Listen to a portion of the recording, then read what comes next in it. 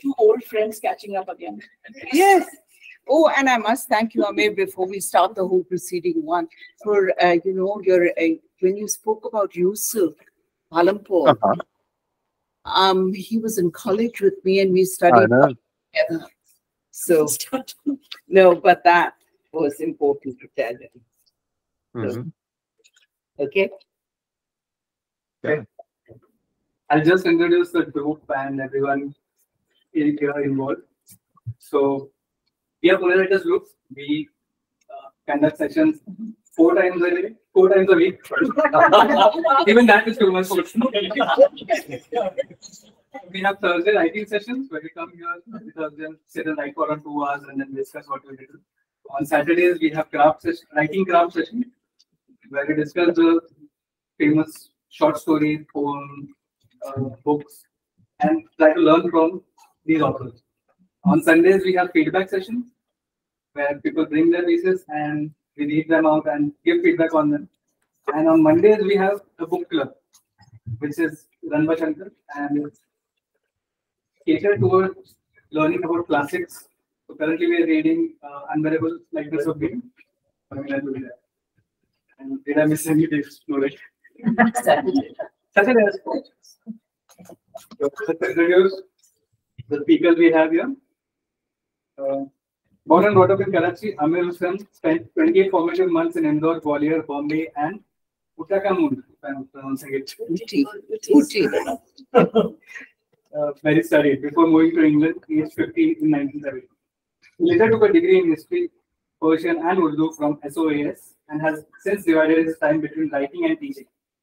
Aamer's book, books include the story collection, The Blue Direction, Insomnia, Success and Bridges, and Zindagi Se. Two novels, Another Gulmohar Tree, and The Cloud Messenger, and a collection of essays on Urdu literature, House of Treasures. We have Priya here with us. Uh, Priya Sarukkai Chabria is an award-winning poet, writer, translator, and curator of 11 books that include four poetry collections, two science fiction novels, speculative fiction novels, uh, translations from classical Tamil, literary nonfiction, a novel, and two poetry anthologies. She won the Muse India Translation Prize 2017, Kitab Experimental Story Award, and Best Read from Feminist Press 2018. She has also been recognized for outstanding contribution to literature by the government of India. She is the founder editor of Poetry at Sangam. Uh, is joining us online. Uh, Dibyajyoti Sarma is a writer and editor, has published three volumes of poetry, last being Book of Prayers for the Non-Believer 2018, and four books of translations. The last being I'm Your Poet, select poems of Nilim Kumar 2022, and two academic books, besides numerous short stories and articles in journals. He was born in Assam and now lives in Delhi, where he works as a journalist and does the independent publishing venture Red River, which is just a short introduction for the huge amount of work he does with Red River. Sucharita Dutta-Asane is a writer and independent independent book editor based in Pune. She is the author of Cast Out and Other Stories. She is the recipient of the 2013 International Dastan Award for her short story Rare View. In 2008, she received the Oxford Bookstore Debuting Writers Second Award. Her stories and book reviews have appeared in various literary journals and anthologies. She edits Red River Story, an imprint of Red River. She is fiction editor for the Bangalore Review and teaches a course in writing and editing to postgraduate students at Symbiosis College of Arts and Commerce. So these are our four guests here. Uh, what we're doing today is introducing Red River Story, which is a fiction imprint of Red River and Aamer Hussein's uh, book, What is Saved. So Red River literally means the Brahmaputra. So like how Brahmaputra uh, threads through uh, various countries, we've brought together various countries here. So I'll hand it over to our guests to start the session. Thank you. Thank you. Uh, To you now. Yeah. uh, hi, hi, hello everybody. And uh, first, a round of thank yous. Thank you to Pune Writer Groups for organizing this, taking the trouble. Thank you to uh, Vishal and Neha of uh, Pagdandi, who has been a huge supporter of Red River. And thank you to Aamer Hussein for agreeing to work with us. I mean, like that, that is like, you know, this was a privilege for both uh, Sucharita and me. And thank you to Priya for being here. And she has been with us, like, you know, for especially personally for me for a long time. Uh, you know, from the days, like, you know, when she used to organize poetry readings in uh, uh, the space, open space. Right. From those days, you know, and uh, you know, and then I'm so happy uh, to introduce Red River Story in Pune because the Pune was where I started my writing career. I published my uh, first poetry collection in 20, uh, 2004 and it was launched in open space in Pune. And then, uh, you know, so this was the place where I grew up, literally and uh, figuratively. So I'm really glad to be returning to Pune and introduce our new venture here. Uh, so about Red River Story, before I start Red River Story, I may have to mention Red River.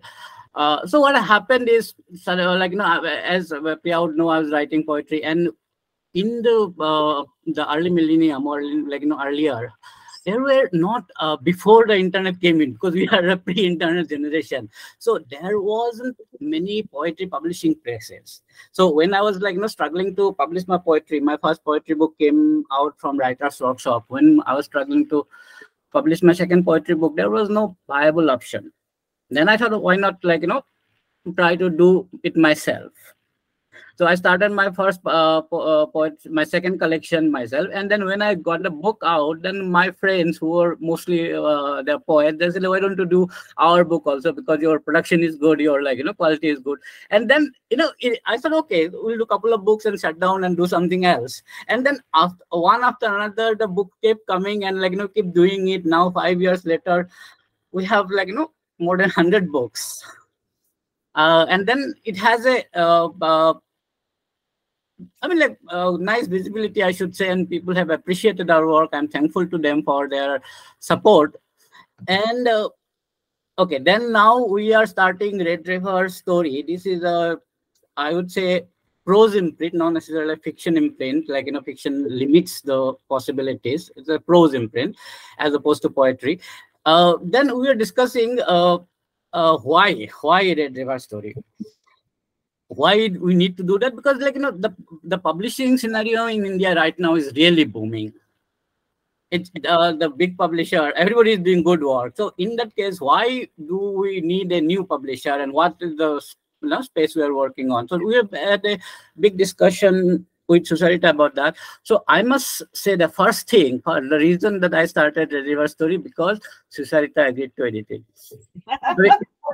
Without her, it would have never started. Like you know, that was the first uh, rule. I said like you know, as long you are you are here, if you handle it, I'm go game. And second thing, then we had a long discussion about our scope, like you know what we are bringing to the table, what the others are not doing. So then we found this space in shorter fiction because like the, there's a whole argument happening of people don't read and like you know stuff like so that's okay. Let's introduce shorter fiction. Like you know uh, which bigger publisher would not would not probably take up because of their like you know reasons marketing and other reasons. Uh, but there are a lot of opportunities there like you know short stories and uh, uh, novellas. Uh, i come from assam uh, and i grew up reading assamese. Uh, our language. And then in Assam, we have this uh, uh, special magazine that come during puja, uh, puja special, and there we will have a lot of short fiction novellas, which can you can read in one sitting, you know. Uh, say 40 50000 words i thought that is a good uh, way to introduce like you know um, introduced to readership who are not used to reading like, because a lot of people uh, approach me and say, oh this is a very bad book. I don't want to read that you know? So that is one uh, way of doing it. And second thing i have been in delhi for last uh, 10 years. I don't want to like you know i i don't want to go against what mainstream publishers do but i understand their reasons because it's like it's a business. It's a uh, no they need to earn money.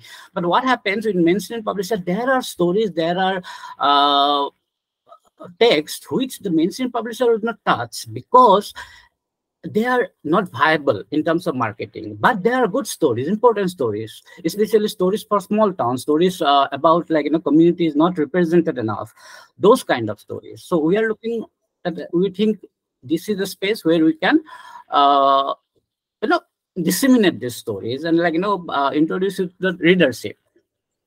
And I think let's hope so and for example uh, like you know the uh, Aamer's book for example like the way uh, he does it for a lot of like you know i'm not sure but i'm just saying uh, for uh, mainstream publishers it may be difficult to like you know because they want to uh, pigeonhole everything right everything like how do you figure it out how do you uh, put it in a box so we are sort of unboxing we're not, not trying to like you know limit this into different uh, sections okay this is a fiction non-fiction as long as it is a good story uh, Sucharita, should I add something else? Up to you. Uh, yeah, I think I should not hog the limelight. Over to you and over to Aamer. And thank you again for, like, you know, we had the pleasure doing your book and, like, you know, working, um, Sucharita and I. And, and it was just fantastic. And, like, you know, we're happy that it's like, you know, well, what is it? Well begun is something like that, no? So we have. yes, thank you. Thanks, Sandhya. We have you to do on this. Course, I'm delighted, absolutely delighted to be holding this book and launching it. Um, because it is, well, we'll talk about it later, but you know, even the title, Life Stories and Other Tales, what is saved immediately is both a question and a statement. And it points to both and more, I think. And this is a book which constantly tells you there is more in every way, breaking through genre conventions, breaking through uh, what you would call poetry, what you would not call poetry. For instance, I mean, since all of you are writers here, what is poetry? Would you say it's just the way words are put on the page, or is it actually a sensibility, a way of approaching the world, a way of receiving its essential stimuli? That I think is poetic, uh, a sensibility which comes out in the writing. And of course, Aamer's is absolutely, um, uh, it is distilled language that is there in this book. And here I want to say that congratulations to Red River. And also, I think Sucharita is the best choice as editor here, not just because of your deep appreciation of Aamer's work, but because of the writer Sucharita that I know. And the affinities I see in your work and Aamer's, you know, which is lyrical, it's meditative, it um, speaks about, uh, it is contemplative, draws deeply from the spiritual. So, uh, the, and the, the care with which both of them use language is again, I think, another very strong link. It's a huge compliment. Thank you. I know, I know, I know how much you love Aamer's writing, but this is what I saw.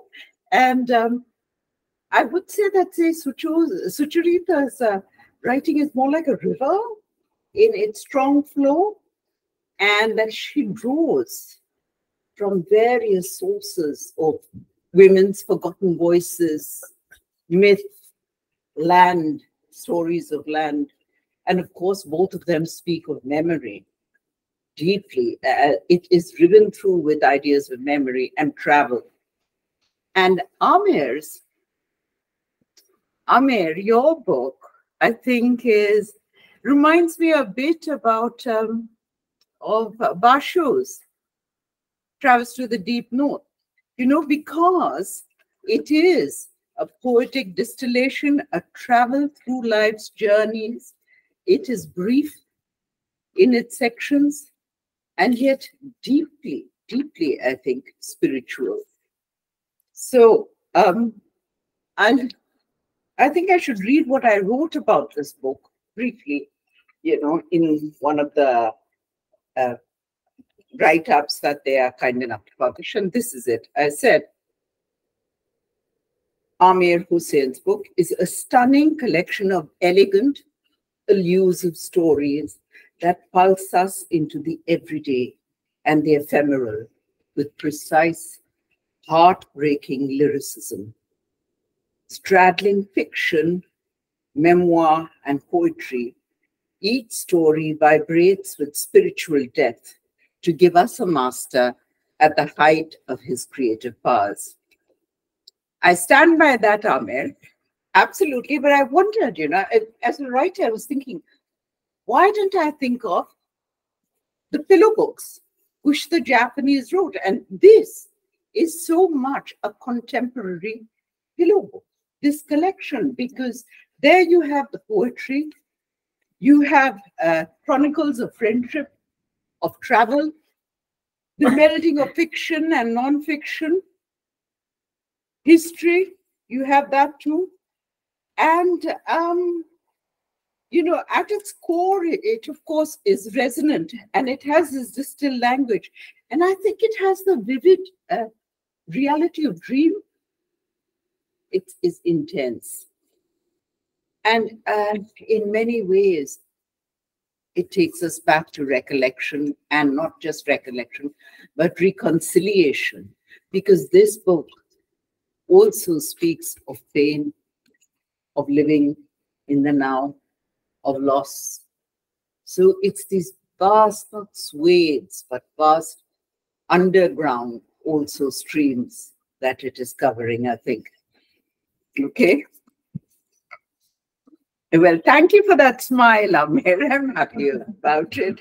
And before I end, I just wanted to make one a comment, or you know, which Sucharita might like to pick up earlier. Of course, it is a book of which has a lot of ellipses, and these are uh, when you think of ellipses, you're thinking of time only in writing, elliptical. You drop sections of time. Aamer uses ellipses of space. One moment you're in London, next moment you're in Lahore, you're in Ooty. So there are these constant ellipses as well. And then at least a third, that is language. You're reading English, you're reading something from the Urdu, you're jumping into phrases from the French, and of course, Farsi, Persian, you know and the, the references to various world literatures keeps coming through here. So that is also, in a sense, the way you're jumping through time, through space, through language. And I think with that, I will just say thank you very much, all of you, for this book review. It's Thank a wonder. Thank you so much.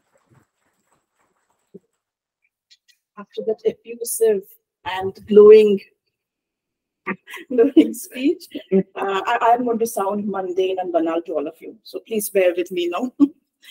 so how did this come about? Um, made just two minutes and then we'll come to you. Yeah.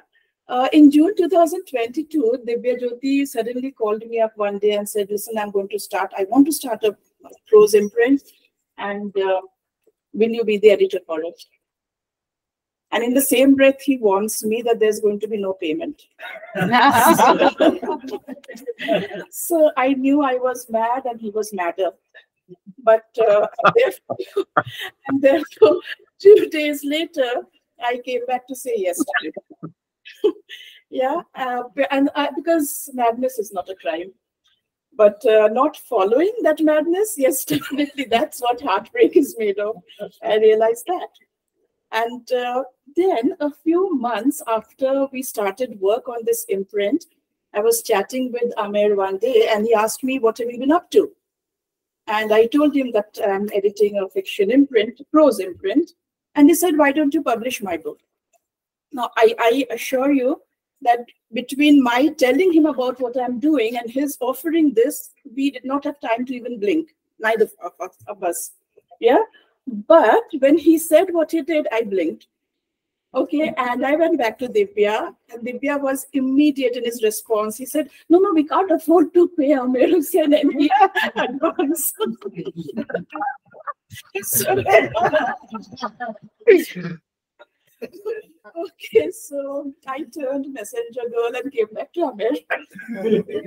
and Aamer said, "No, I'm not bothered about the money. What I want is a good book published." And that was a blessing.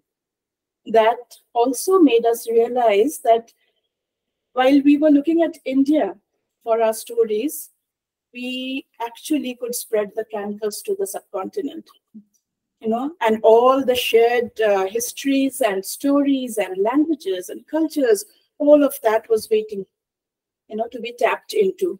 So, Aamer, thank you so much for that faith. My that, pleasure. My pleasure. You know, and so we have the first of the first six titles from Red River Story.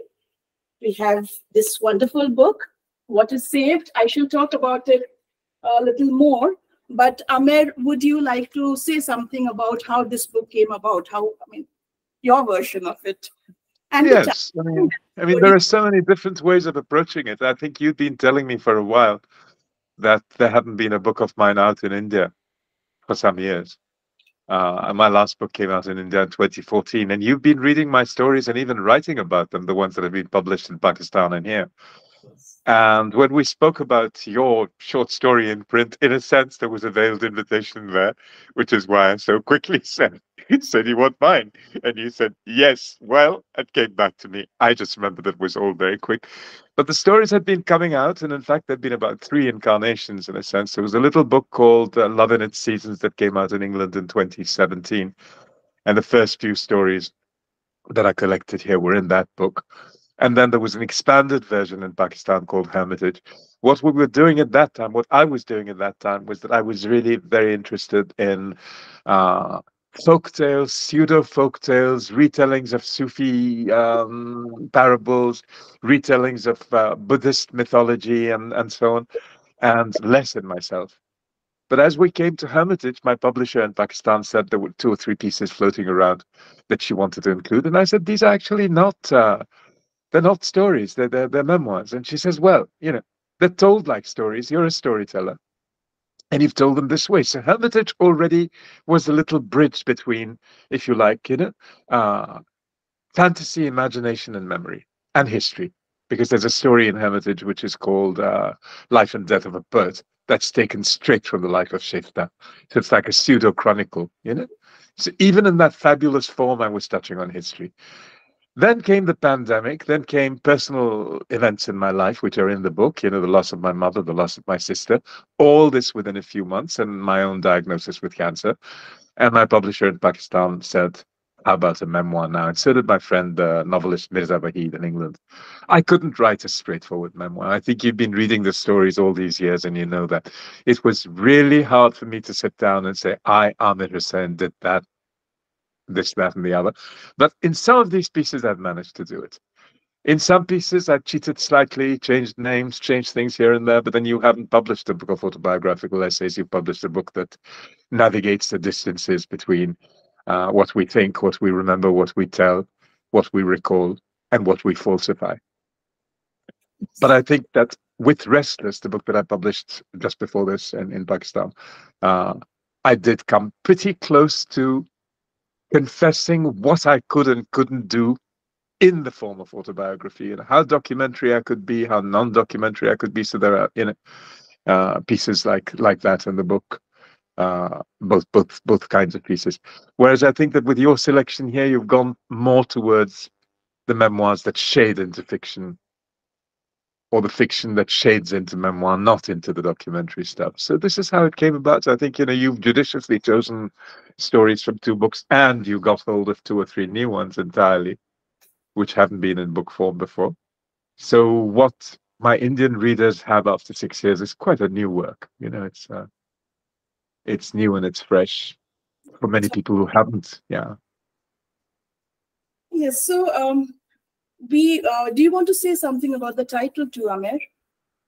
Uh, what is saved? Yes. Well, I wrote that story in Urdu, and uh, oddly enough, it's very prescient because it's It was before the pandemic, before the diagnosis of my illness, and before my personal losses.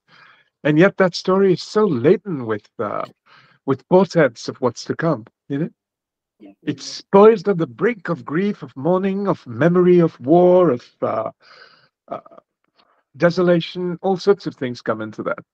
The story was called Zindagi Se Pehle because of the painting, eponymous painting, which uh, is done by an artist I imagined entirely, created from my imagination, but was inspired by an exhibition I visited of Lee Krasner's work.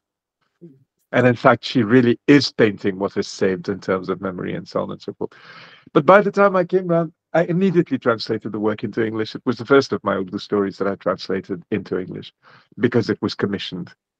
And I thought there's enough good material here. But I realized as soon as I translated it that that Zindagi Se Pehle, before life, didn't make sense in English. And the story is about what is safe because it's two friends. One is in his 60s, one is in her 70s. And they're both holding on to what is precious to them, to what is beloved, whether that's memory, whether that's friendship, uh, and trying to go beyond loss, trying to go beyond grief and mourning, try try to go beyond desolation, and you know what we say in Urdu, "Kuch ghame jana, kuch uh, the troubles of the time and the troubles of your own life, and that is what we saved. That is what is saved. And of course, to me, that became more poignant during the pandemic and during you know the periods of mourning where uh, you rely so much on what is saved, on what is saved, and what is saved can have been saved yesterday as it can have been saved ten years ago, a hundred years ago, if that makes sense. Yes. And then you know you've chosen the title "Batori Hui Khushiyan," and that's you know one of the final lines in the Urdu version of the story. Those pieces of happiness we've gathered up, Yeah. The fragments of happiness. Yeah. Yes. fragments of happiness. Yeah. So actually, uh, Dibya first suggested that we have what is saved as the title, and uh, Aamer liked it immediately.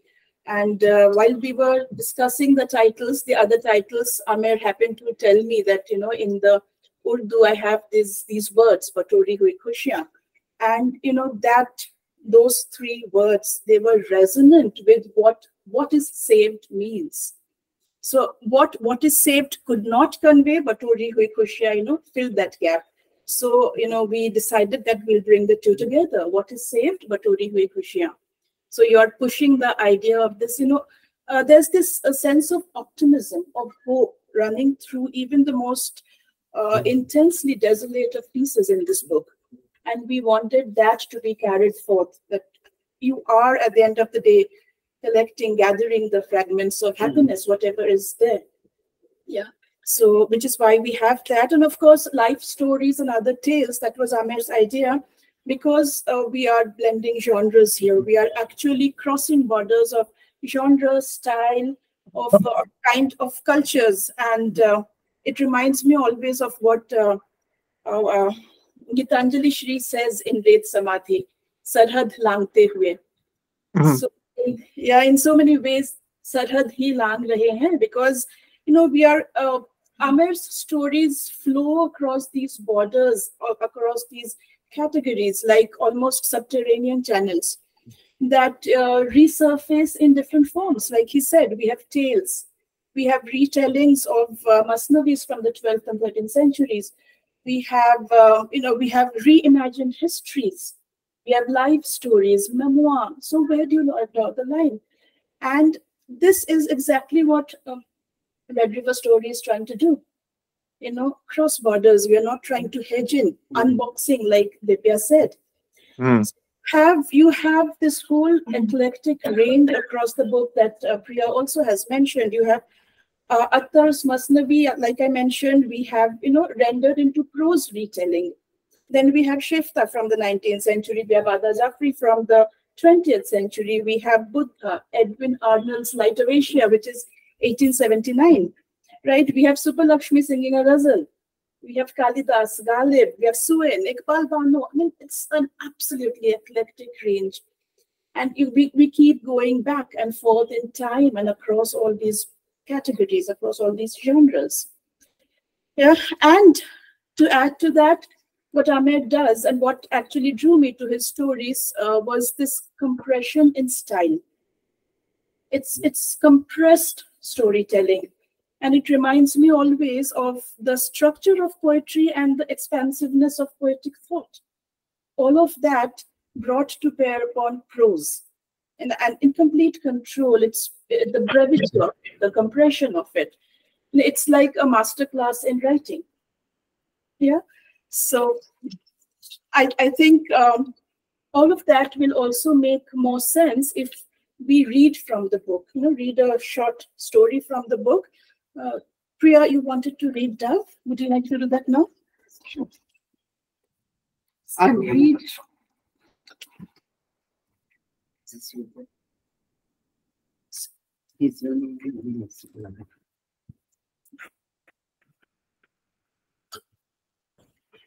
Yes, I read from Dove, which is in two parts, very short uh, as uh, Sucharita mentioned, you know, the brevity.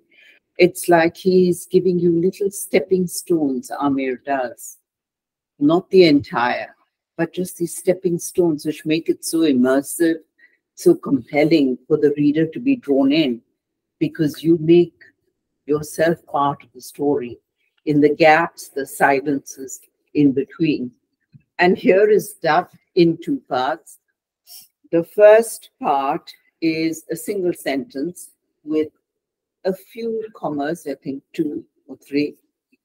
The second part has one full stop and a couple of commas.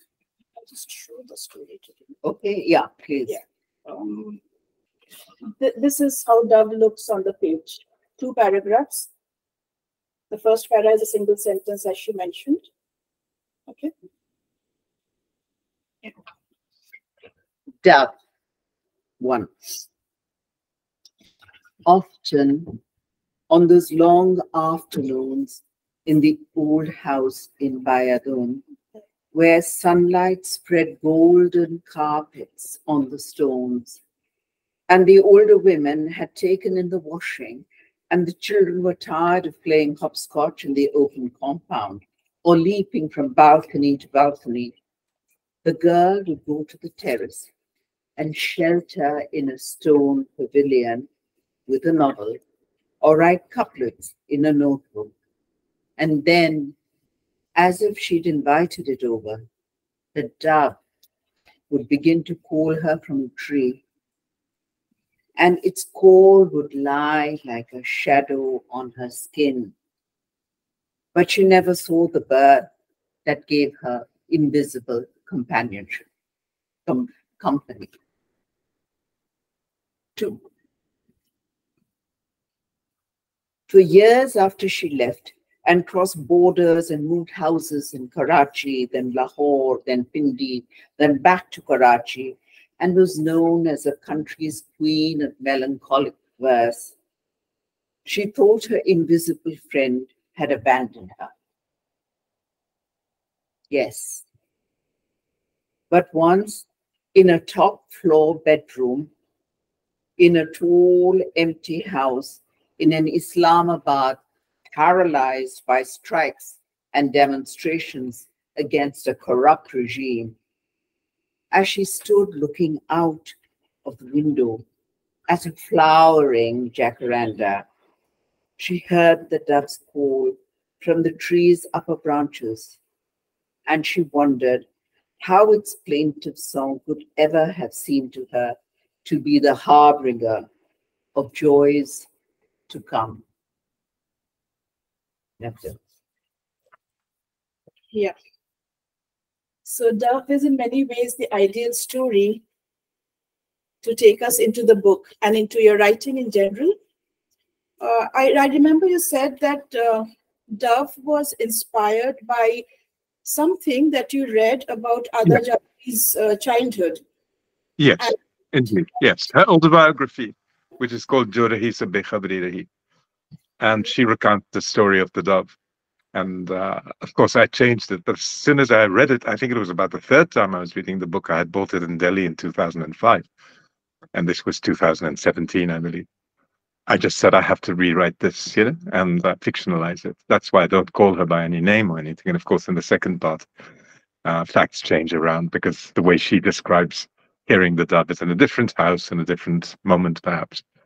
But that house was very present in my mind. I had probably myself just come back from Islamabad a few weeks before, and I had been there during times of turmoil. So that story just came to me, and it came to me in something like 20 minutes, probably. I wrote it just sitting there. Uh, it poured out of me, and I hardly had to revise it.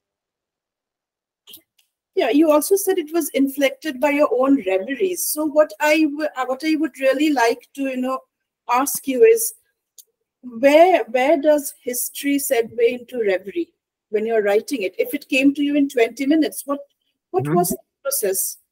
Well, I have to say that book is deeply rooted in history because it's quite a traditional autobiography, memoir. It also has literary essays woven into the fabric of it because, I mean, she is a poet and a leading poet, was a leading poet. So the history was there. But of course, you know, once I transported myself into that world, Badayun, I don't know at all, but it did remind me of uh, Indore and Gwalior in my childhood, you know, the Havelis and so on and so forth that I spent holidays in. But the second part took me to the Islamabad I knew so it was not so much reverie as an immediate memory, reminiscence, recalling of my times there. Okay. Uh, something something like Shefta has absolutely nothing invented. It's just really what it does. It's to compress, in fact, the very long essay that uh, Ada Jafri also wrote about Shefta. And the fact that I know Shefta's great grandson very well, so I was able to ask him some facts about it as well about the whole story. And those facts are in the background and the backdrop of the story, but knowing them actually made it much richer for me. And it was, again, something that I had decided it was more conscious, this effort that was going to be very short and very terse. And it probably took me a little longer to work on this one than it did on Dove. But it was very much the same sequence of time. Okay.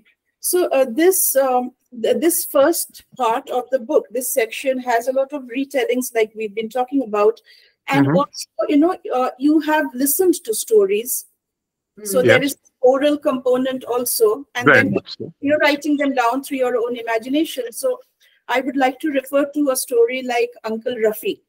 Now, mm -hmm. Uncle Rafi was Aamer's mother's maternal uncle. That's, yeah. yeah. And Aamer uh, grew up listening to stories about him from the family. So in Uncle Rafi, and Uncle Rafi, he was given to melancholia and he passed on uh, too soon in life. He was a writer himself and he wrote uh, The Legend of Daya Gujjar, the Bandit. That's right. So in Uncle Rafi, what um, Aamer does is there is this oral narration, yeah, and there's a blending of voices. So uh, the stories that he has heard from his uh, family. Then you have um, Uncle Rafi's own retelling of the legend of Daya Gujjar. And you have Aamer remembering how his grandmother used to sing those lines. Mm-hmm. And Aamer is writing about it. Okay, so there are all of these layers. And you know, I'd really like to know how, how did you go about writing the story? It has an inherent polyphony, not overt, but it's inherent? How what was the uh, process of writing? Oh, that that was really very much just a trip down the unconscious. The way I put it together, I mean, it was basically asking my mother questions, more and more questions about Uncle Rafi, reading his stories, and then ringing up my mamu, who was in Ahmedabad at the time, and asking him what he remembered about uh, Rafi Ajmeri. Also, my friend, the writer Asif Farooqi in Karachi, who oh, is dead. You know, a very uh, early loss. He died at 60 during the pandemic. He gave me some a handful of facts as well.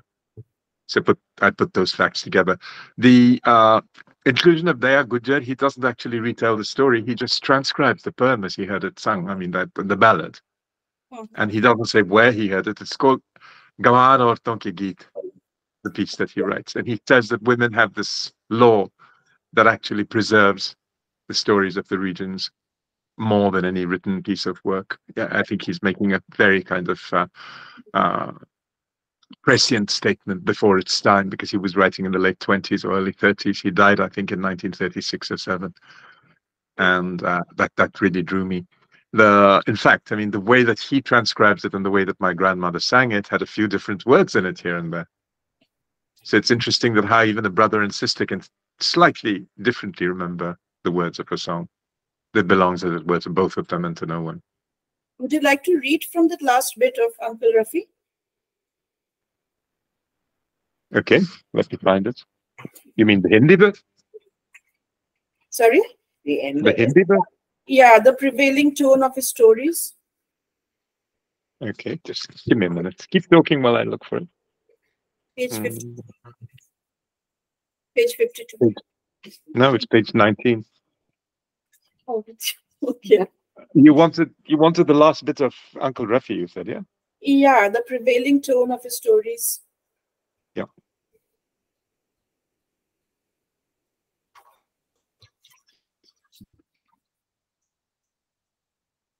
Sorry, Uncle Rafi is hiding from me. Just a minute. Um,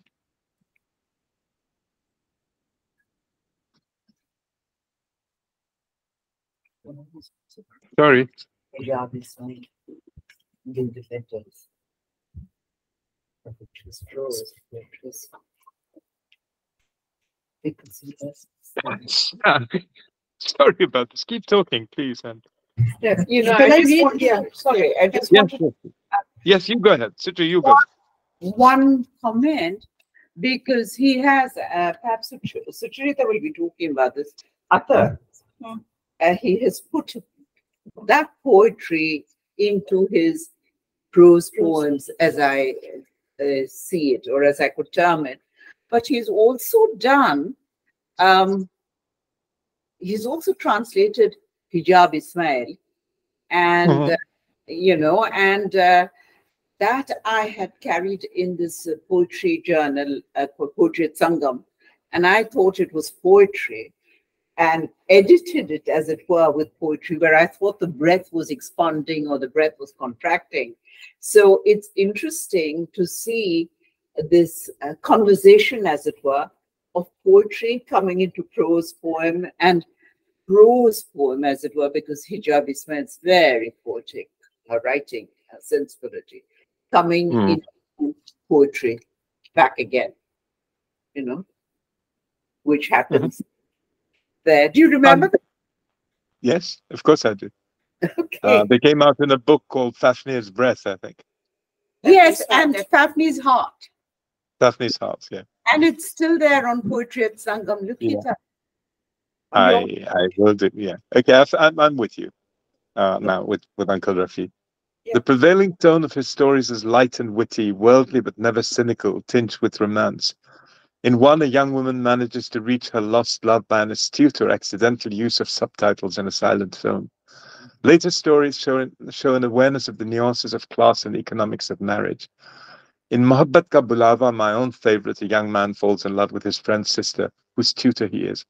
And when his loved one's very rich father forbids the marriage, not only do the lovers elope, but the hero's friend escapes with them to set up a life away from the rigid social norms of his family. How would Rafi Ajmeri have fared in the progressive era that was just dawning then? Would his liberal attitudes have hardened into dogma, or would he have swung to conservatism in the Pakistan to which his brothers migrated as he too probably would have had, as he too probably would have? Or would his fictions have echoed the calm voice of conscience? No way of telling the one short bitter text of his suggests another direction he might have taken. Here he retells from an old song the legend of the bandit Daya Gujar who robbed the king's wife of her jewels to please his demanding wife. अम्मा को मेरा राम राम कहना बहना को मेरा सलाम गुजरी को बस इतना कहना रह जाए जो बन करे थाम दया अब आना नहीं दया जुल्मी के फंदे दया फांसी के फंदे give my greetings to my mother and sister, but to the Gujari just say make good use of to make good use of her youth. There isn't coming back. He's in the clutches of the oppressor. The noose is around his neck. As I read it, I could hear my grandmother's singing voice. My hair stood on end as it did when I first heard the story sung. So that to me was a memoir, talking about genre. That to me was a memoir, but it was not my memory. It was a memory of my elders Yes. Uh, and a memory ensconced in history or even forgotten history. And and the voices, it's uh, the way you ended with your grandmother's voice ringing in your ears. Hmm. And I, I could almost hear her singing the words too. Mm. But uh, you know, uh, this this is still at a distance. In the second part of the book, where you write your personal stories, you write the the memoir pieces. That's much more immediate, and Yeah. it's difficult to distance yourself from that.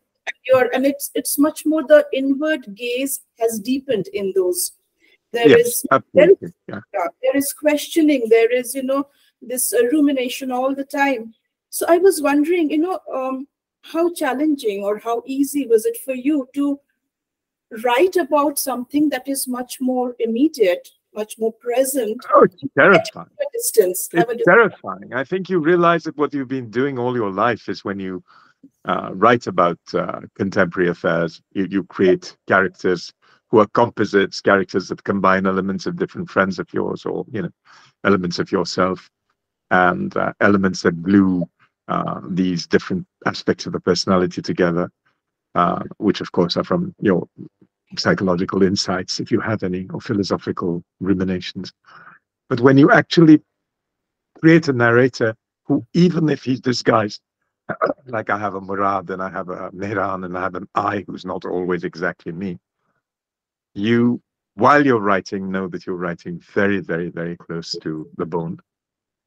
And in fact, tearing off strips of skin in order to be able to do that, it is scary. It's scary, but it's also immersive. yes And of course, it was a terrifying time we were living in. I mean, you know, for four months, we were just completely uh, isolated from each other. My own niece, who lived downstairs, could barely see me. She used to stand in the doorway and talk to me. And uh, we were terrified of what was going to happen. It seemed as if, you know, it was doomsday almost. And because of the requests that were coming to me to write stories, and that particular story, I think you're referring to, at least uh, in passing, The Garden Spy was actually a response to someone in Karachi asking me if I would write a story about the pandemic as it was happening. That was Taha Kehar, who himself is a novelist and journalist. And that seemed to open some doors. But as I said, the door had already been opened with uh, What is Saved, which is much more fictionalized. But at the same time, something was happening that was making me look within. I mean, you know, What is Saved, much of the reflection on on on uh, the past and on history is through the eyes of an artist who didn't really exist. But then, as I move on, the reflection is through myself. So even when, for example, I talk about Han Suyin, I'm talking about my relationship with her and how she made me think about nation and belonging and language and dispossession. Yeah. So um, could i please read from uh, your uh, Suyin of friendship Yes, Uh, please. Yeah, a, a very brief passage, and I, I'd Mhm. like to ask you something about uh, what you just mentioned about home and homelessness and Mhm, mhm. roots. Yeah. So this is from uh, Suyin of Friendship. Uh, okay. My contradictions grew when I went back home on a lecture tour later that year. Returning to Karachi after more than two decades, to see the streets of my city bristling with ethnic strife and inter-party warfare. Reclaiming Pakistan had made my fragile anchor slip away, and my feet were sliding on slippery sand. My terms of belonging had changed. I was not home. I wasn't a Westerner of foreign origin. I was not someone who, to quote Suyin, happened to live abroad and went mm. back for my roots. Mm. I was someone who had left behind a homeland and never found anything to replace the empty patch. Wherever I was, I'd always look for a part of myself in the city I'd been sent away from. As I wrote then, all my mirrors of belonging have cracked. I came back to London and began to write my most difficult, tangled stories. My second collection came out after a long struggle. Your uh, this idea of homelessness, of home, of roots occurs in other stories also, Aamer. I was wondering, you know, is it the written word that you're grappling with, the page on which you find the written word, that conveys a sense of home much more than a physical space or entity? Would, would you say that as a writer? No, I think that I could very often write myself right into homelessness. It was a re- reminder in many ways, and it's not just my own; it's that many people around me. because people are so profoundly displaced in so many ways. I mean, people are even displaced from their village to their city. I see this when I go to Pakistan so often, you know. And around me, of course, you know, I grew up uh, in, in London surrounded by exiles from Poland and Iran and Afghanistan and Ethiopia and so on and so forth. I myself was not an exile, but in the many years that Zia ul Haq ruled Pakistan or misruled Pakistan, I, I didn't go home. You know, I felt uh, it was unethical to go back. Now I slightly regret it because that time was far too long. And now when I'm asked if I would visit a country which has a cruel ruler, I say yes, if I have close friends there, I would. But at that time, I turned my back on my country. Luckily, I had another country, which was India, my mother's, my motherland and my mother's land, which I could go to when I did. But going back to Pakistan was more profound in some ways because Karachi was where I grew up and where I learned everything that I carried with me I saved up a lot from Karachi. So that first exposure was traumatic because looking back now, I realized that I felt I would have to embrace it by and by, and I did. And as you know, in the years you've known me, I've been back very often. I work in Pakistan a lot and uh, engage a lot with people there and so on and so forth. At the moment, again, I'm feeling a distance for various reasons I won't go into. But I did become somebody who belonged to two or maybe even more places rather than belonging nowhere. I had a multiple sense of belonging to answer your question about the page, I think I felt uh, when I was in my 50s that I had to write an Urdu. That was, you know, something I had said just a year before. I was in conversation with Sara Suleri somewhere. And we both expressed a kind of nostalgia for Urdu, which we both loved and felt could express certain things that English couldn't. And I said, I think it's too late. I'll never write in Urdu. And a year later, I did. And there was this sense of arrival. I won't say homecoming, but there was a sense of arrival when I wrote my first story in Urdu. Uh, suddenly, the gateways of a language were flung open. That was an adventure, and it was a completely different process from writing in English for a very long time, because English just flows out of me. Urdu doesn't. It's, uh, in a sense, to come back to what Priya was talking about, it was like writing poetry to begin with. Each word was carefully chosen. I also realized then that I don't think in a language, and this might be um, a result of being at least potentially bilingual. That uh, when I write, it's the, the visual images that are most important. And because of the way English comes to me very easily, uh, I hadn't realized how visual my uh, imagination was. In Urdu, I really realized that because I was literally, you know, raising a hand and looking for a word in the air. Later, the process became more natural and it became closer to the way I write in English. Does that answer your question to some extent? Yeah, to an extent. You also mentioned that uh, you know you drew inspiration for images from Urdu poetry, Hindi poetry, and uh, Persian. Yeah. So your images come from poetry.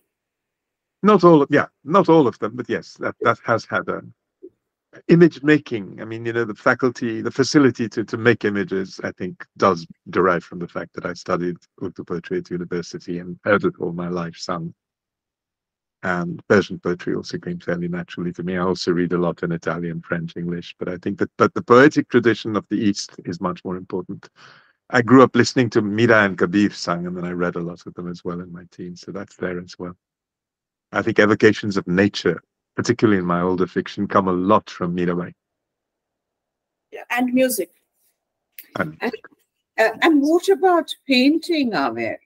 The miniature yes. tradition, I know we've spoken about it. And as a matter of mm-hmm. fact, I think the last time we met was to go to the V&A, the nut, the huge nut paintings that we saw, miniature, mm. spoke a lot about it.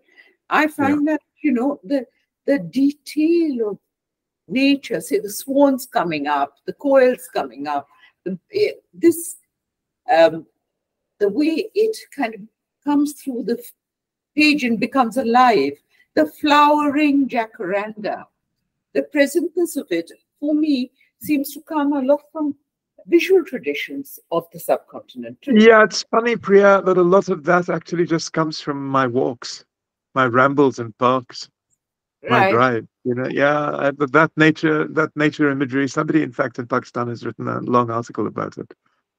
Uh, he said you write uh, eco fiction, and I was not aware of that at all. He says you always had these birds and so on. Of course, the swan comes from the fact that I All the swans in my stories are real.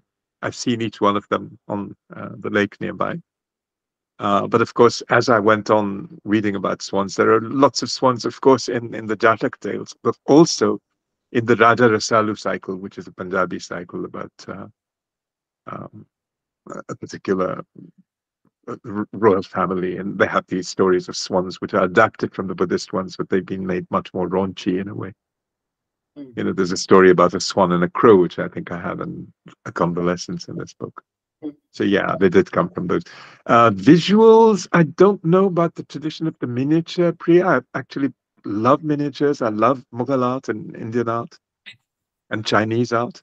Mm. But painting in the stories, actually, I feel I'm more influenced by um, Western well, modernism. I see. Okay. Yeah. I would think that's yeah. What what what is evoked when I describe a painting is more likely to be a Western painting, okay. or a Westernized painting, or 20th century traditions. Okay. Your stories also, uh, Aamer, you know, and uh, I have a question for both of you. Having the two of you here, know, I must ask this question. Uh, in in your stories, I noticed that uh, names in in one story appear in another events yeah. in one story you know reappear in another story. And yeah.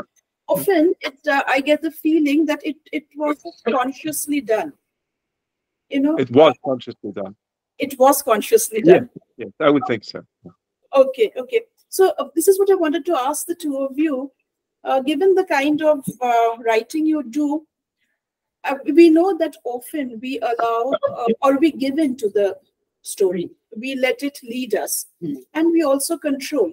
So, uh, for the two of you, what is it you control when you're writing and what is it that controls you? Your take first, Aamer. This is your book. Uh, sitting here now, not having written a story for a year, uh, written other things, but not a short story. I've done some translations and so on. Mm. Uh, I think the story controls me pretty much. And then I decide that I'm going to put those cues in that links it to another story. What very often happens, Sujo, is that the stories uh, I feel need to be completed. I, I, I start a story somewhere which is just uh, a sidetrack, you know, which is just a, by, a kind of bylane in the story. And that little clue clings to me and wants to be expanded. So then I carry on and write another story, and the cue will be in that story that leads it back to the older one. You know? And I also decide to exclude certain things in stories, like in some of my stories, the fact that I sang when I was a teenager in my 20s is deliberately excluded so that that character is not me. He's not in love with, you know, uh, the art of singing, as it were. So I'll remove that. Or in fact, I think in The Garden Spy, there's no mention of uh, Mehran limping, so that he is not Murad of what is saved. Right. Uh. So, so things like that I'm careful about, and I look at them and I remove things, I add things later. Those stories, the, the the kind of contemporary ones, take a lot more time. Even though What is Saved Again was written in two days or something, but uh, normally they take a lot of time. They take a lot more curating, if you see what I mean. But yes, I do feel the story to a large extent controls me rather than my being in control of it. Okay. Yeah. And well, the idea is always just a whisper in my ear when I begin. It's not really something that's uh, very complete or very uh, defined. Okay. Since we're talking about memoir too, and I've just begun a memoir called The Archive of Absences on uh, talking about all the photographs of my childhood that I don't have. So it's entirely based on absent photographs. And one chapter has come out in, in a Singapore-based journal. And um, I know that when I'm writing this memoir, my uh, my skin seems to be bleeding because it's so close. You know, you're just pouring all over, and then uh, uh, because you don't want to go somewhere and those questions of how far are you going? How fair are you being to a person who is mute, either through death or some kind of silence? That is such a heavy burden. So with memoir, I'm I have to try to tell myself to surrender. And then I edit. And it is only when I'm sure of the emotion the, uh, in the memoir that it is true that I continue. If I think I'm sidestepping it or faking it, I stop and put it away. With the story, it takes over. And you're walking and walking and walking around, as it were, a, a half-formed idea, as Aamer said, you know, it's just a whisper. It's something you don't know. And then it's like a whirlpool, you slip into it I and then the story slowly expands. And speaking, if uh, I could for a moment about the connection between poetry and fiction, because there is always this flux uh, in Aamer's work too. Uh, recently, what I found is that people, you know, they want, when they say story, and that is one thing I'm so, among them, many things I love about this book, is its brevity, its terseness, its short, not terseness, its fullness, but briefness, you know, its, its exactness, the exactitude of language. Um, but when I'm writing stories now, commissioned write, we say, oh, about 4,000 words. And because I've told this to Dibya, uh, what happens is I get to about a thousand words because my story, as it were, is told in that time, unless there is another idea springing forth. It's the poetry that comes yes. in and edits. This. I'm compressing it or distilling it. I don't do. Uh, poetry has its own kind of editing, which you do. You know, so that is what happens. But it's a story set. It's a narrative. It's it's that which keeps going. But I'd like to add that when I think of something as a memoir, like you know, when I was asked to write about Han Suyin, Qurratulain Hyder, or there's a piece in this about my teacher, they're as true as memory allows them to be, but a lot of them are very fact-based in the sense that I do you know, research what I'm doing. I check dates, I check events, and so on and so forth. And I don't fictionalize. I don't add anything. If there's something that I've forgotten, I just write clearly in the middle of the memoir. Sorry, I've forgotten this. I don't remember. It may have been this way, but yeah, I try not to. I, I don't invent. In those portraits of people, I don't invent at all. Mm. Otherwise, it would become a story. I would change the names. I would change the dates, like the other Jafri story, which is you know floating in the world of fiction and imagination, even if it's inspired by something real. So, in fact, you know that in a memoir, the facts take control. The shape is what is something that one gropes towards and finds sometimes in the darkness. I have a question for Sucharita.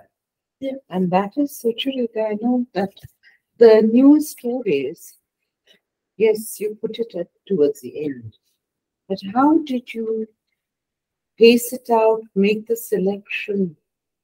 What formed the shape of the book? Okay, uh, so uh, as far as selection is concerned, because I'd been reading Aamer for a long time, mm. I had some preferences. Mm. And uh, Aamer sent those in, but we realized that we needed more. Mm. Yeah, and um, these stories, like the tales from Attar, you know, the, the retellings, mm. the tales, those uh, those were very dear to me. But then Aamer had this new writing, you mm. know, which was bringing in a completely different tonal mm. tonality to the yeah. book, you know, yeah. and uh, it hmm. was providing that perfect balance hmm. from the retelling of something heard, something read, to the retelling of the self right so when he was retelling in, in these pieces when he's retelling the self when he's retelling his life stories his life experiences uh, uh, as i mentioned earlier the inward gaze had deepened so much that you know you were in the skin of the mm. narrator Mm. you know, and Mm. that intensified the experience of the book, Mm. the experience of Mm. reading the book. Mm. So we thought, uh, and of course, it was a collaborative um, exercise in putting uh, together the titles. So we thought, let's have the tales and the retellings, Mm. and then bring in this absolutely contemporary, absolutely um, a punch in the face, in the guts, that kind of a writing. So you have a perfect balance. And of course, what I wanted constantly was this timeline and the kind of people that Aamer was writing about to, you know, uh, draw a historical continuum from one to Mm. the other. So you're beginning in the 12th, 13th centuries and you're coming right down to the peri-pandemic years. So that kind of, and we wanted that linear, although Aamer's writing does not give to this linear kind of telling or no memory or ta- that concept of time. But for the structure of the book, this is what we wanted because that reflected not only the range of writing it does, but also this historical continuum sort of. Mm. Right. That's how we have this in the beginning and then we come in with the But of course, you started with pieces from my life, which then segued into uh, the tales, and then came back to. So the, the, in the beginning, it's my childhood and my mother and my great uncle, and then the fables lead on from the histories, including the Shefta story, which is told like a fable, and then we go into the retellings, and then we go into the stories that are from my own imagination, but are told like folk tales, Hermitage, the Yes. lake, the blue bead, etc and then you move to the pandemic. Yeah. So that's I think what we haven't talked about are those little stories that are in fact hybrids of uh, fable and modernity. Would you like to read one of those? Is short enough? Uh yeah, I'll just shall I just read the Question, uh, just one early more. part of Hermitage maybe? Or the lake. The lake is short enough, I think. Uh, the lake is one I'm very fond of. the lake, of course. I just want to ask, I'd which yeah. do you, which do you enjoy writing the most? Which kind of? Uh, enjoy definitely stories like Hermitage Lake, stories that come from my own imagination, but have a they float away from you know, uh, uh, harsh realism. I mean, they, they they they adopt the tone of a fable, but actually they're telling you about things that are very close to our lives. So I mean, if you look at the at Lake, it's actually about adolescent trauma. Yeah. But, uh, but it reads like it could even be a children's story. Just tell me when I've read for too long, and I'll just leave it, and we'll hope that our readers will pick up the book and, and continue. As a boy, Messam had often walked by the lake. It mes- mesmerized him in winter when it was glassy, and in summer when it mirrored the sun's reddish rays. He'd play on its banks in warm weather with his friends. Some of the boys would take off their shirts, jump in, and splash around in the water, then come out shivering in their drenched trousers. But Messam, who couldn't swim, never joined them in the water, until one day one of his friends promised to reward him if he did. The water was icy even though it was summer. He felt the lake would swallow him whole. His friend swam away and left him there, watching him from a distance as he spluttered and gasped until he struggled to the grassy bank, slipping and sliding on the glass smooth pebbles on the lake's bed. On the lake's bed. Later, he didn't remember whether his friend had kept his promise and rewarded him with a banknote or a book, but he always remembered the cold, white water and his spluttering fear of drowning. Along with these fears, he was afraid too of making new friends who would lead him to flail in icy water as his playmates had done that summer day. At boarding school in his teens, he was congenial with his fellow students and courteous to his teachers. He joined in discussions and debates, but he usually walked alone. Messam liked walking alone. When he went home in his holidays from his first term at university, he would set off on his own and stroll for miles, watching birds and squirrels and the greening branches of trees and rabbits and other little creatures scurrying in the bushes. One day, near the end of spring, he was walking on the path that led to a wooden hill when he saw a deer sprinting ahead, a creature that seemed both remote and unafraid of him. It seemed to be leading him on up the hill, as if in a trance, Messam followed. In a short while, he found himself at the peak of the hill at the edge of a lake he was sure he had seen before, though he knew it couldn't be the one he had played by as a child. He had lost sight of the running deer, as if it vanished, as if it had vanished into the silver ripples of the lake. The walk had made him hot. He was perspiring and had long since drunk all the water in the bottle he had carried in his rucksack. He bent down and slipped lake water from his cupped palms. Then he took off his shirt and vest and splashed cold water in his face and head. The sting of the water made him gasp, but he went on splashing himself, bathing his shoulders and bare chest until he was shivering in the sunlight. He rolled up his trouser legs nearly to the knee and washed his feet and his calves. For a moment, he had the urge to, de- to dive deep into the lake's depths, but for now, the bracing feel of its water on his skin was enough. When he had refreshed himself, he lay down on a reedy slope dotted with yellow breasted white flowers and closed his eyes for a while. From a nearby tree, he heard a bird song, low at first and insistent and raw, until in response a higher sound, shrill as a whistle, came from another tree. Was the bird's call a warning to his mate to guard her nest from an intruder? A faint breeze was soughing through the leaves, and the water too was singing. And it seemed to him that if one listened to the silence, everything sang to everything else breeze to water and leaves, water to cloud and branch, birds to the sky. I'll leave it there. There are two more paragraphs. You could complete reading the story. Okay. Because it changes direction. Questions for the audience he he wondered fleetingly how it would be if someone were beside him to share the water and the sky and the silence. Then, as if on a small screen, he saw himself in his university classroom, seated next to a classmate who, in spite of Messam's reserved demeanor, had always been friendly to him. Often the classmate had offered advice, offered to lend or share books. He asked Messam more than once if he'd seen a certain film, or if Messam had ever used a swimming pool on campus, but before he could invite him to join, Messam had made awkward excuses to escape to his hostel room and the company of his books.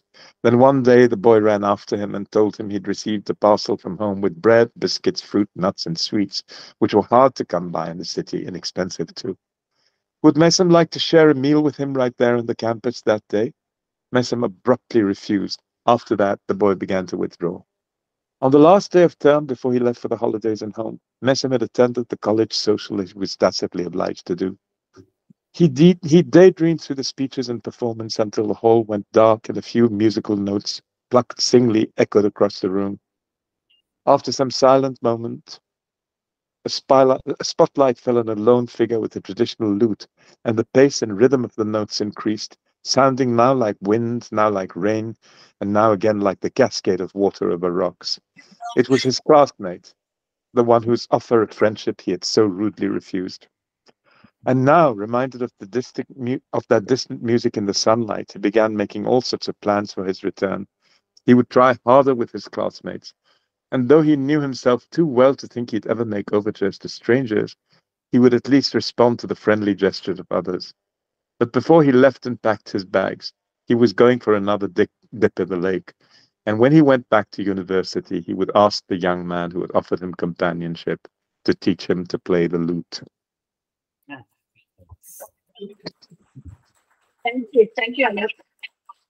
So that story was written from my imagination, but then I met a young man called Messam who wanted to play the lute. And he said, Well, this story seems just like me. So I added the lute to the story after meeting him. Okay. And he got the lute and learned to play it. But at the moment, it's stuck uh, in, in, in a small town with broken strings, which have to be repaired. So that's uh, another end to the story, which I hope is not final. Okay. Thank you. Uh, questions from the audience?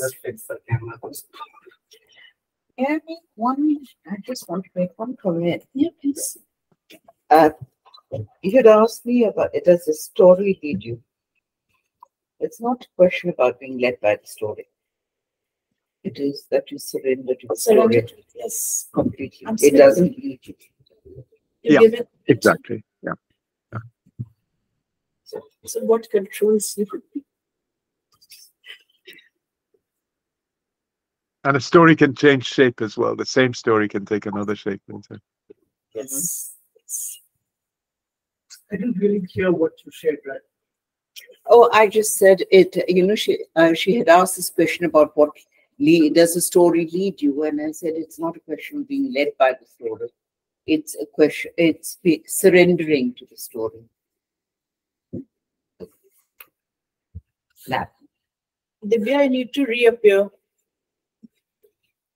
Everyone put your phones on silent. What is that? To give this. Where is it?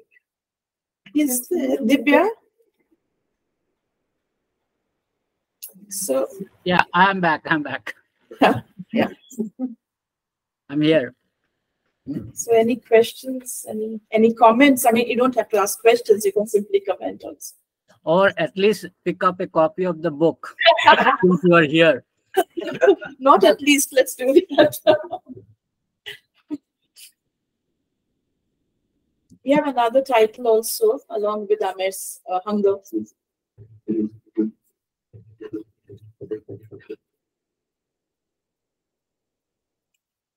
Those who want to write and ask questions to Dibya, you know about your books. Kinjal, you want to ask something?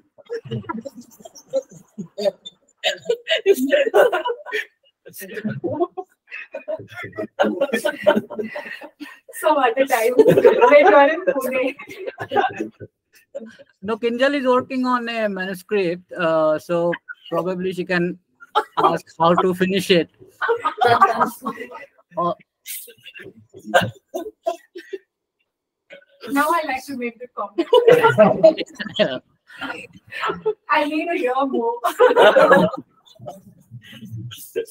She's doing a memoir. You want to talk about it? No. so we've tried our best. If anybody else, yeah, I know. Mm, In the, can you hear me? Yeah, yeah. Okay, I had a question for Aamer. Uh, Yes. in, in the first few chapters, music plays a heavy role. in Yes. This. While you're writing, do, do you have it playing, or how much does music play a role in your writing? Uh, can I see who's speaking? Can No, you, you have to come You have to come here. here. This is like this. further. Can you see? Can you see? I'm in the center. Yeah, now. now Right. Yeah. Yes. And your name is? Sorry, Your name? with Sumit. Okay. I uh, listen to music all the time. It's probably my greatest joy. Uh, and I listen to all kinds of music, above all folk music from the subcontinent, but from Mediterranean countries as well, from Ireland, Scotland, uh, classical music, uh, Indian classical music, um, the Sufi tradition. I don't like Qawwali very much. Everyone, every, everyone is shocked about that. But I'm, I'm not fond of Qawwali. It's not something I would listen to alone but I listen to a lot of other kinds of folk traditions, Kafi and Vai from uh, uh, in Siraiki and Sindhi, for example. I love uh, Carnatic music. I love Subbu Subbulakshmi and also some very modern, postmodern uh, Tamil singing, which is a combination of Carnatic and so on. So yes, I listen to music all the time. I don't play music while I'm writing because uh, uh, I think music dominates my senses much more than uh, language does. So I listen a lot before and after, but not while I'm writing. The music is off. I, I like to write in a certain kind of silence. I don't mind people walking around me and talking actually at all. But music would make me go into because music has its own silences that draw you in. And I remember when we first met, the very first meeting over at a friend's house in London over lunch, Aamer sang. He sang Carnatic music. Krishna Nee Begane Baro. That is what you sang. You know, that Just a bit, just a fragment of it, yes. Yes, a bit of it. But, you know, it was there from the And you gave me a version of it by Unni Krishnan later on. Yes. I Yeah. did. I love that. It's one of my favorite, uh, yeah, songs in the world. So yes, every kind of music, jazz as well, some pop. I don't like film music that much, but you know, even that sometimes if there's a very good song, I listen. Uh, Pakistani music from the 50s movies I like. Uh, so yeah, absolutely every kind. But my predilection is really for folk traditions. There's a story here. Uh, it's called The Lady of the Lotus, Mhm. which is a retelling from his mother's uh, journal entries about Yes, her training in music. Yeah, that's directly from her diary with some intercalations from myself. Yeah. But I mean, all I did was to take her first person writing and put it into the third person with little uh, references to her first person uh, sentences as well, and then my own voice. So it's really, you know, three uh, three levels of uh, music, if you like, three kinds of notations. Yes.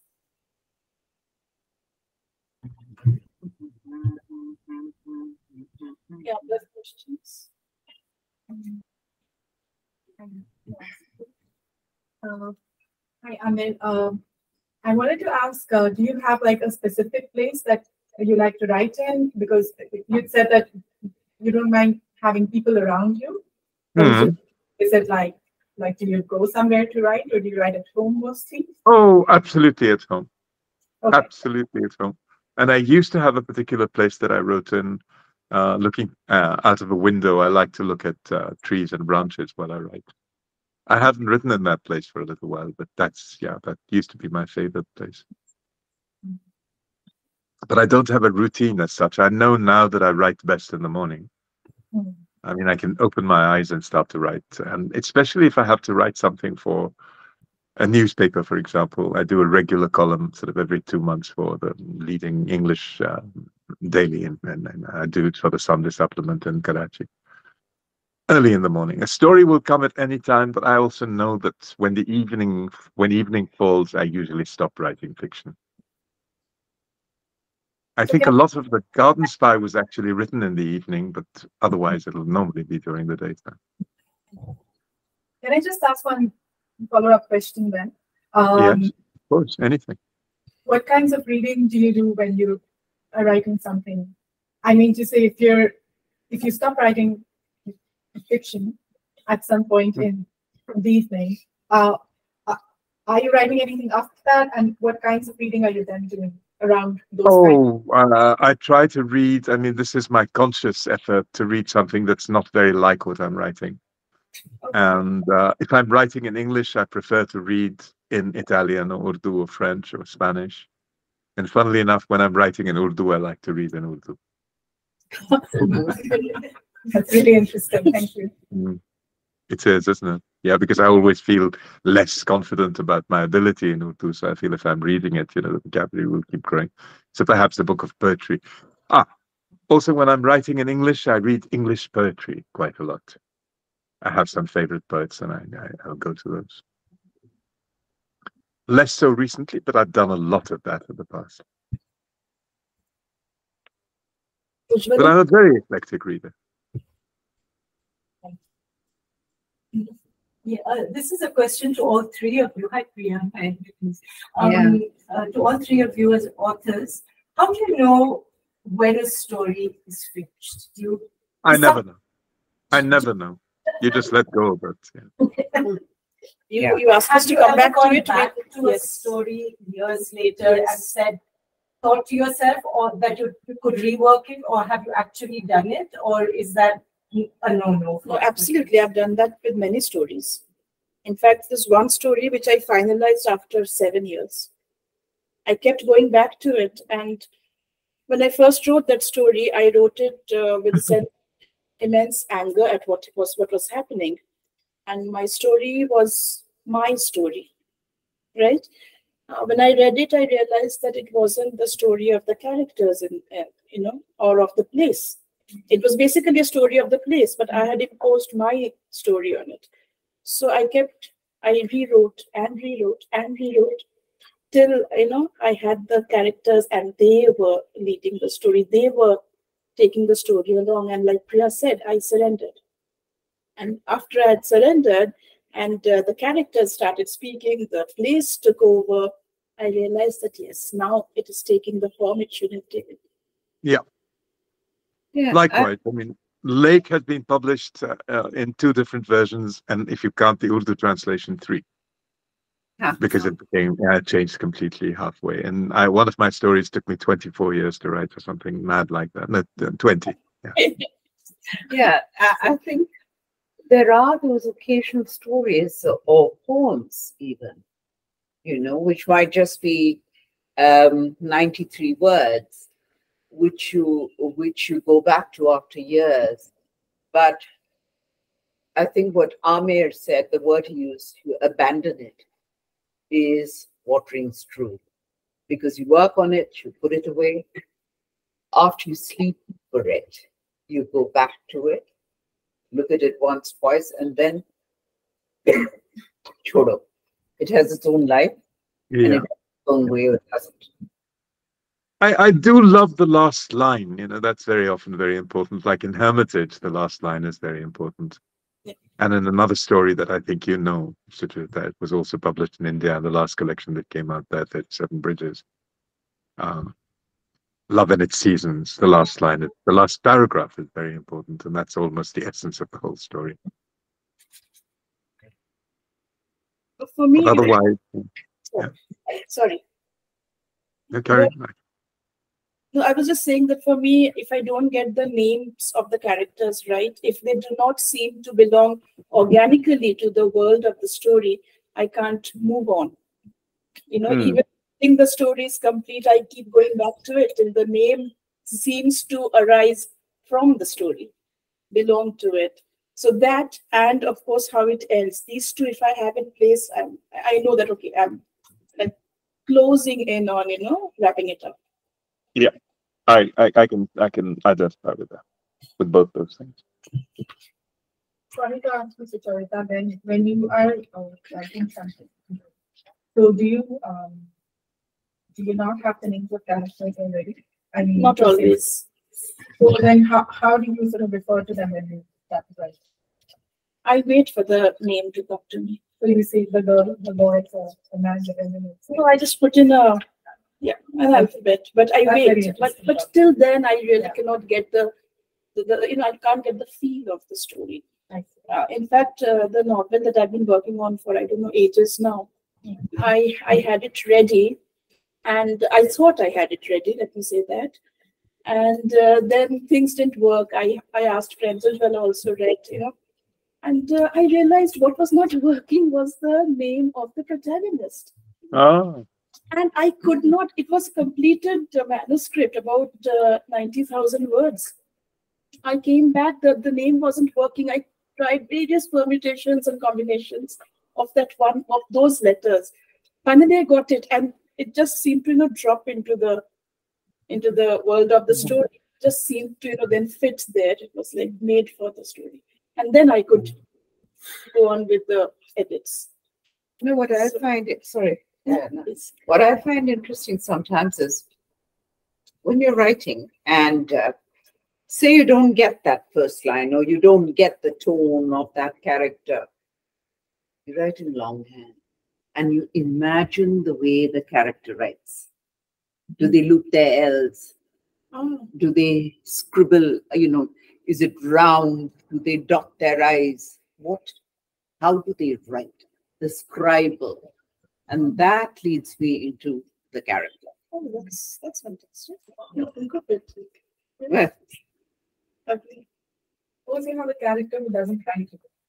I still try to, I still try to think of, uh, of how they would speak. Something. you know, some, and would they speak again, you know, in a flowery way? Would they be abrupt? How does their breath move? Is it short? You know, do, do they construct clause after clause after clause? How is it? It's a breath. That's That's really next beautiful. Pardon? It's really Beautiful. beautiful, your Thank description. you. I think it's very interesting. Thank you. Aamer, yes. up, uh, you know, uh, do you want to talk about uh, the breadth in your stories, the sentence, the length of the sentences? What controls it? I mean, like, for example, in Dub, the first part is one sentence. Yes, it's completely intuitive, but I know that I don't want to stop the sentence. In other places, I just want them to be shorter. And very often in the edit, my sentences will become shorter. Ah, But yeah, but but uh, Dove just came to me like that. It came like you know a, long, long, long mm, kind of uh, episode of music that was playing in my ear, and it had to be captured in one sentence. And an editor tried to change it and asked me, if I would uh, manicure the sentence a little bit, and I said, no way, I'm not publishing it this way. Right. Mm, so- That's. Uh, when you were writing, are you, uh, when you're writing a story, uh, except probably the plot line or the characters, do you worry about the emotional movement in the story? Because uh, the stories that I just read, or, you know, they were very moving. So, are you aware of the movement, or it, it is coming just you know natural as you write? Is it for me? Yeah. Mm, could you just uh, compress that sentence a little bit? The question?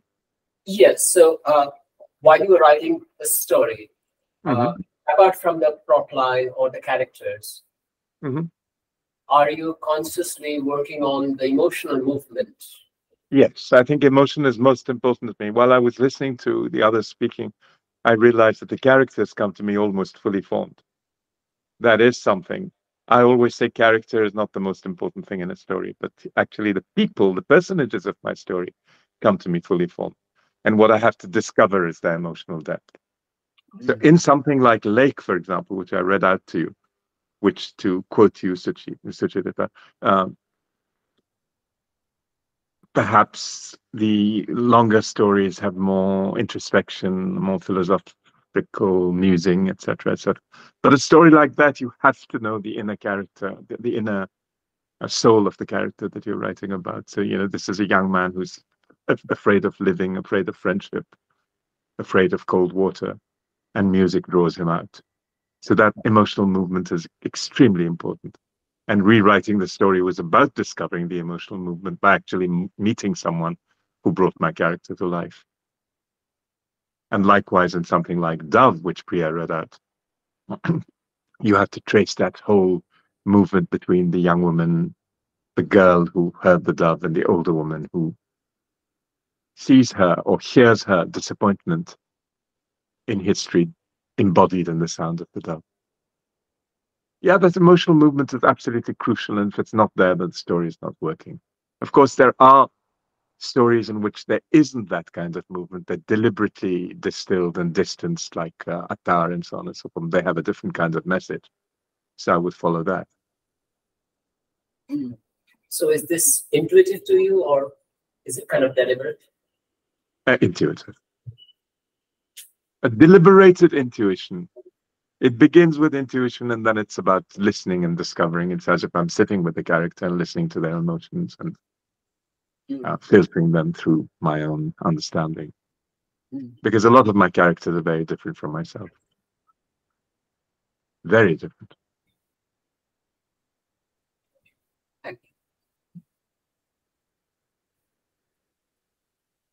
Style. That's a good question. Arun, he's saying something to you. Yes. You were saying something. I said it's a good question. Yeah, so it's a good question.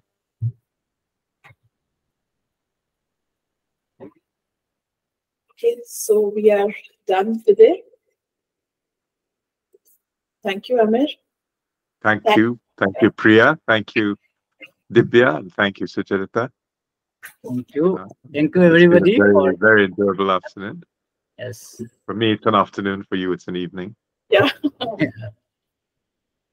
And get this book Yes, is what please. I would like to end with because it is when she says I'm very effusive, I'm not. I'm just honest. And I think this is a remarkable um, Thank you. experiment in in and and way of storytelling, which especially since you're a writers group, would be seminal to you guys. On that infused note again. Thank you all very much. Thank you. Thank you, Dibya, for asking me. Yeah.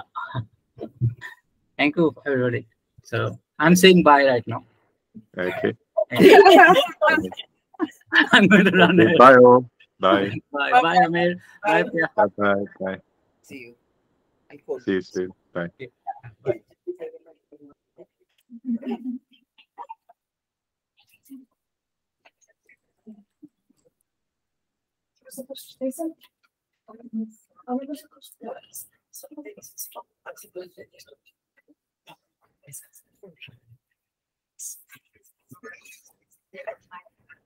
Hi, so good to see you after so long. So many, Huh? so many years. I know. An open space figure, didn't it? Yeah. Open space, which you guys used to. No, no, yeah, Did you guys plan this? No, completely ever. You, you're I, I used to read your Sangam poetry. Right, right, right. Yeah. Okay, Thank you. So where are you now? Going on now? Yeah. Oh, you are, huh? That's great.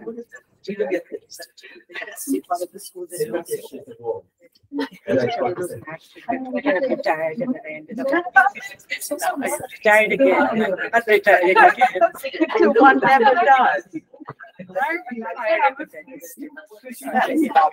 Oh my God, wonderful to see. Wonderful, yes, yes. Great.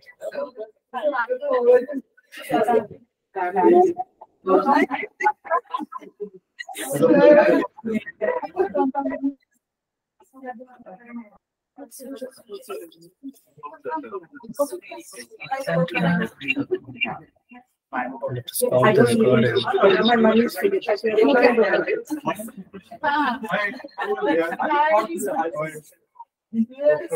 My.